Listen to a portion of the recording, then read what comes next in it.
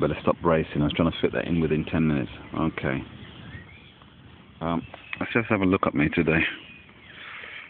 Mm-hmm. Oh, there's the tree.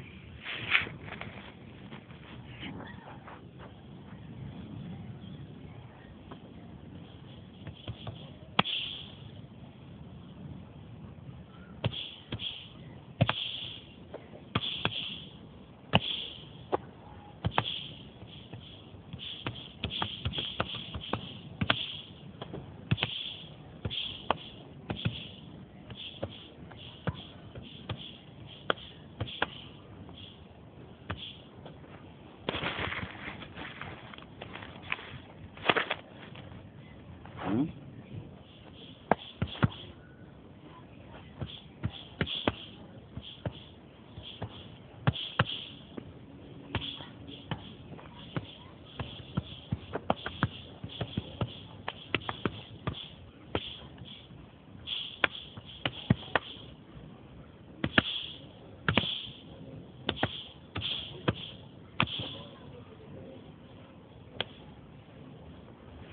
Yeah, better. Right, where was I?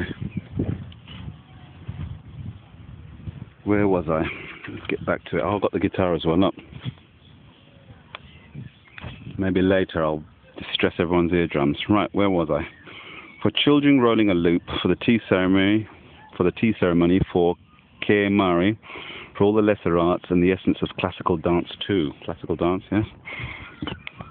When she is distorted and has no life, neither the movement nor stillness of form, nor the community, or sorry, nor the continuity of hands and feet will be beautiful, and the performance of action and response will be obstructed.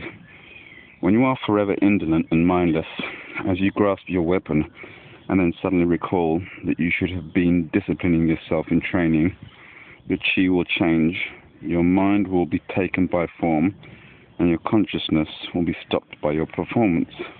Thus, your chi will waver, and it will be difficult to respond to unexpected situations. Yeah. If you always use your mind when you train, if an event does occur, you will respond to it with no mind. Yeah. Just always enliven your chi and do not be indolent.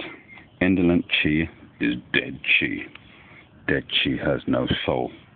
Thus, you will not only be able, or sorry, thus, you will not only be unable to perform any function, but there will be many times when you are startled and made fearful by things. when your chi fills your entire body and, in, and is enlivened together with your mind, there will be neither surprise nor fear, and it will be easy to respond to unexpected changes. Nevertheless, inconstant chi has no roots and does not exist in the truly alive. It appears to, but it is different.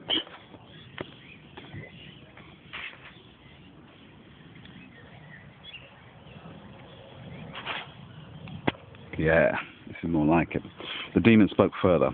Long ago, a certain Zen monk instructed his acolytes. He said, Listen. He went, and then he went, and he went, and then he went, and then he went, and then he went, something like that. Right. But I'm, I'm disturbing some couple over there now. We've got the police. Look, police over there. Anyway, fuck the police. Where was I? Ah, yes. The demon spoke further. Long ago, a certain Zen monk instructed his acolytes. Hey, look. Fuck me. Look.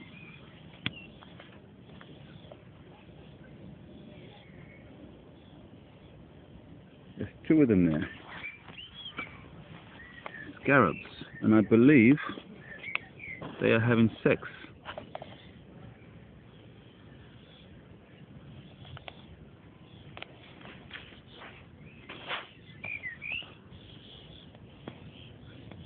Where are you? Some fucking wildlife program, man.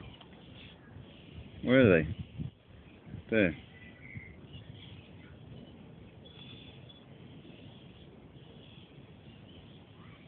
I know what happened. These two were having it off. Yeah. Hey, we're having it off. Let's get you on there. You see them? Not see them there? Look. There they are. These two were having it off in the trees. Well, I think because I was doing all that kung fu, I disturbed them right when they were having union.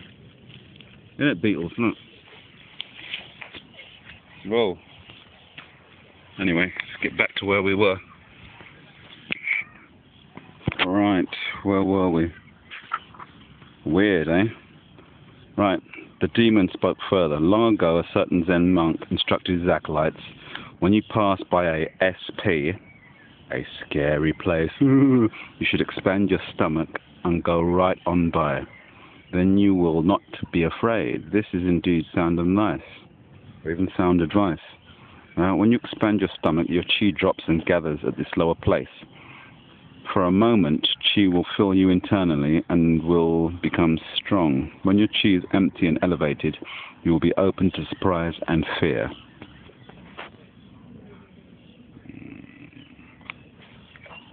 Yeah, so saith